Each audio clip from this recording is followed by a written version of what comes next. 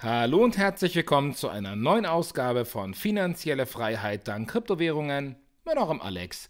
Und heute mal mit einem Video zum Thema Aktien statt zu Kryptowährungen. Ihr habt mich nämlich gefragt, Alex, wie sieht's aus, wenn man ganz neu in der Thematik ist? Wo kann man sich denn mal anmelden, um Aktien zu handeln? Wie machst du das und hast du da vielleicht den einen oder anderen Tipp für uns? Ich werde natürlich gleich im Anschluss an dieses Intro euch ein kleines How-To, also ein Step-by-Step-Tutorial zeigen, wie man sich anmeldet und zwar anhand des Beispiels von Trade Republic. Warum Trade Republic? Das, dieses Video ist nicht gesponsert, also ich bekomme weder Geld dafür, dass ich über die rede, noch in irgendeiner Form mit einem Affiliate-Link ausgestattet, dass ihr irgendwie worauf klickt und ich daran verdiene. Also ihr sollt wissen, es geht hier nicht um finanzielle Reize oder Anreize, sondern es geht hier ganz einfach darum, dass es sehr einfach ist und vor allem für die Einsteiger von euch sehr günstig. Denn wenn wir das mal vergleichen mit einem eigentlichen Broker, dort zahlt man für jede Kauf- bzw. Verkauforder, also ihr gebt quasi eurem Broker den Auftrag, er soll für euch eine Aktie anschaffen oder loswerden, zahlt ihr jeweils 5 Euro. Das bedeutet, wenn ihr also jetzt vielleicht mit 50 Euro mal anfangen wollt und vielleicht nur mal die Mechaniken erlernen wollt, sind von den 50 Euro bereits bei, der ersten, äh, bei dem ersten Kauf schon mal 5 Euro weg. Das heißt, ihr könnt lediglich für 45 Euro eine Aktie erwerben und wenn ihr die dann wieder verkauft, müsst ihr wieder 5 Euro zahlen was es gerade für Einsteiger mit kleinerem Budget sehr uninteressant macht. Daher die Alternative Trade Republic. Nummer 1, die sind eine mobile App, allerdings auch nur eine mobile App. Das heißt für die richtigen Fulltime-Trader eher nicht so optimal. Man kann hier also nicht die Charts auf die äh, Bildschirme werfen und so weiter, sondern man müsste das alles separat machen. Hier haben wir wirklich eine App. Mit der App kann man dann eben seinen ganzen, wie bei Blockfolio, seinen Depotbestand anschauen. Man kann die Veränderungen sehen pro Tag, wie ihr das hier in der Animation seht und gleichzeitig hat man eben alles auf einen Blick. Der Vorteil aber daran ist, dadurch, dass sie natürlich wahrscheinlich deutlich weniger Infrastrukturkosten haben wie andere Anbieter, haben sie keine Provision auf die Orders. Das heißt, wenn ihr eine Aktie kauft oder auch verkauft, zahlt ihr darauf keine Gebühr im herkömmlichen Sinne. Ich habe für euch mal hier die Preisliste oder das Preis- und Leistungsverzeichnis herausgesucht. Ihr seht also, die Orderprovisionen sind erst einmal kostenfrei. Gleichzeitig kostenfrei ist auch der, der, der Sparplankauf. Also wenn ihr jetzt sagt, du, neben Kryptowährungen, ich habe jetzt mir angewöhnt, jeden Monat ein paar Euros in Bitcoin zu legen, möchte ich jetzt auch jeden Monat ein paar Aktien kaufen oder ich möchte jeden Monat ein ETF kaufen. Also quasi ein Fonds, der aus ganz vielen Aktien besteht. Dann kann man das machen und einen sogenannten Sparplan kaufen. Und wenn man diesen Sparplankauf macht, ist er ebenfalls kostenfrei. Es gibt da wohl den einen oder anderen ETF als Ausnahme, aber über 300 an der Zahl sind es, die eben kostenfrei besparbar sind. Und das macht das Ganze natürlich mittel- bis langfristig sehr interessant. So könnt ihr denn eben, wenn ihr nicht gerade Daytrader seid, mal hin und wieder was kaufen, liegen lassen, beobachten und dann immer mal wieder nachkaufen und so einen Sparplan aufbauen. Ja, das wäre es eigentlich auch schon an dieser Stelle.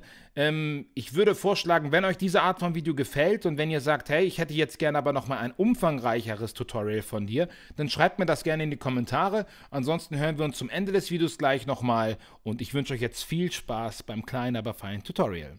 Ganz kurzer Disclaimer noch einmal. Ich bin natürlich kein Anlageberater, ich bin kein Profi in dem Bereich. Ich gebe euch einfach nur Tipps, wie ich das Ganze handle und umsetze. Und ich würde euch bitten, bevor ihr jetzt anfangt, viel Geld zu verlieren, weil ihr auf irgendwelche wahllosen Aktien setzt, dass ihr euch wirklich intensiv mit Recherchen beschäftigt und euch vorher eben über Unternehmen oder Herangehensweisen, wie man Unternehmen unter die Lupe nimmt, anschaut und erst dann wirklich auf die Idee kommt, Aktien zu kaufen. Das wollte ich nur einmal loswerden. Und jetzt genug der warmen Worte. Lasst uns starten. Ja, wir starten auf der Homepage von Trade Republic, am besten am Desktop-PC und dann geht ihr auf Depot eröffnen. Wenn ihr das gemacht habt, fragt ihr euch zunächst an meinem typischen Anmeldeprozess nach eurer Mobilfunknummer, die gebt ihr ein, danach erhaltet ihr einen Code, den ihr dann eben auch wieder eingebt, den habt ihr auf eurem Handy per SMS erhalten und damit könnt ihr dann quasi eure Telefonnummer bestätigen und verifizieren. Dann legt ihr und bestätigt ihr nochmal eine PIN-Nummer fest, die ihr euch selber ausdenkt und damit habt ihr eigentlich schon euer Profil erstellt.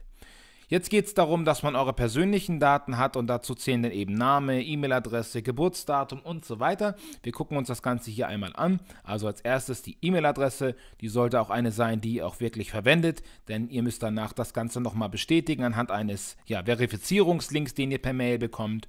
Dann gebt ihr einmal euer Geburtsdatum ein, eure Adresse und dann habt ihr es eigentlich auch schon.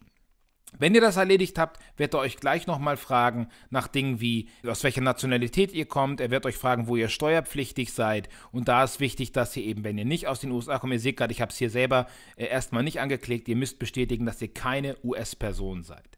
Ja, dann geht es auch schon aufs Auszahlungskonto, das überspringe ich mal kurz und damit habt ihr eigentlich die Bürokratie geschafft. Damit ihr das Ganze jetzt wirklich vernünftig verifizieren könnt, zeige ich euch hier einen kurzen Ausschnitt, habe ich denn eben eine Videoverifizierung gemacht, da ist dann jemand, der mit euch spricht und wenn ihr das erledigt habt, habt ihr eigentlich den Löwenanteil erledigt und könnt starten. Danach müsst ihr noch auswählen, welche Art von äh, ja, Kenntnissen ihr bereits habt, zum Beispiel im Aktienbereich und, und, und. Und wenn ihr das angegeben habt, hat quasi das System eure ja, Reife eingeschätzt. Es weiß also, wie gut oder wie erfahren ihr seid und dementsprechend seid ihr dann für eigentlich viele Dinge freigeschaltet. Und dann seht ihr schon, habe ich euch jetzt hier mal einen Screenshot rausgesucht. Wenn ihr das gemacht habt, öffnet sich diese Oberfläche auch in der App und dann könnt ihr eigentlich schon loslegen. Ja, ich hoffe, das kleine, aber feine Tutorial hat euch zumindest so ein bisschen gezeigt, wie schnell und einfach das Ganze geht. Wenn ihr dazu Fragen habt, kommt doch sehr, sehr gerne in unsere Telegram-Gruppe. Den Link findet ihr in der Beschreibung.